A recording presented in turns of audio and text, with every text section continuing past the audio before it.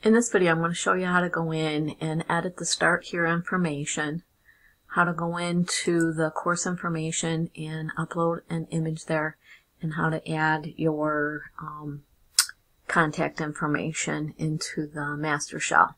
So um, in Start Here, we have a lot of the information already mapped out for you. You can just go in and edit, introduce yourself a little bit. So one thing you want to do is make sure your edit mode is on in the upper right hand corner. So now it's on. Now I have the option to go in and add information and then I also have the option to edit. So if I go to the um, get started information here, hit the drop arrow, go into edit. Okay, I can make um, changes to these instructions and um, if you want to, you can expand the screen so you have the full screen to work in. So if I expand that, I can go in and um, see the editor at the top and I can add images. I can go in and um, just type in my new information. I could take information out, whatever you want to do in this area. If I wanted to add a picture of myself to the welcome, um, up at the top there is an insert image option and I can go in and browse my computer and find um, the picture of myself on my computer.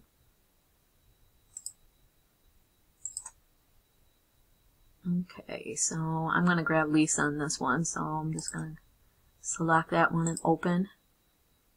And you always want to put in um, image text.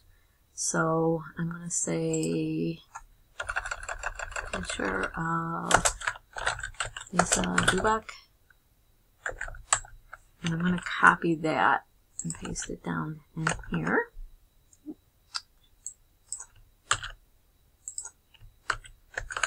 Okay. And um, if you go to appearance, you can select the dimensions of the image. So I'm going to make a little bit smaller. I'm going to set it at 75. And if I tab over, it's automatically going to adjust the height. Okay.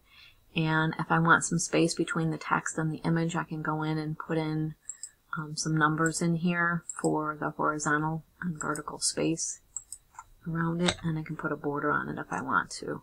So I'm going to go ahead and insert that and there's the image inside of the um,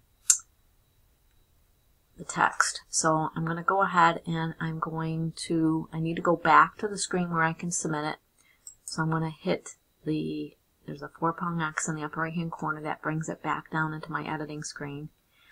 Um, you'll always want to make sure that whatever you add, you turn on this track number of views and then hit submit. So you will see any changes that you made inside the item in here. All right, so if we go to the course information and syllabus page, we have an area in here for you to put in your banner information, um, your you know your name, your contact information, your image as well. So if I go in and I edit that, okay, and what I can do is right click on the image that's there and go to image and I'm going to replace that with the other, the picture that I want. So I'm going to go ahead and I'm going to throw Lisa's picture in there again and hit open. You can see that it's changed. Um, this one might have already been changed. Nope. So I'm going to change that to 75, make it a little bit smaller. Alright, if I want some space around it, I'm going to add some vertical space. Alright, and I would want to change the text description and title to say what the picture is of. And update that. That makes it ADA compliant. Okay. Um, now, so I would go in and I would also add information in here and put in um, maybe a phone number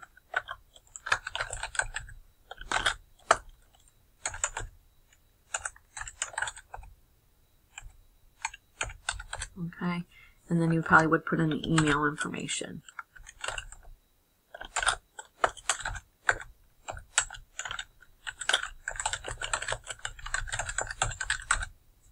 Okay, and again, if you wanted to make this bigger so you could see it all on the screen, you could hit the four prong arrow to expand it. You can look at the information. Um, if you have any publisher information, make sure you add that or take that off. So if you're using McGraw-Hill, if you're using Pearson, I would add the contact information for support for that.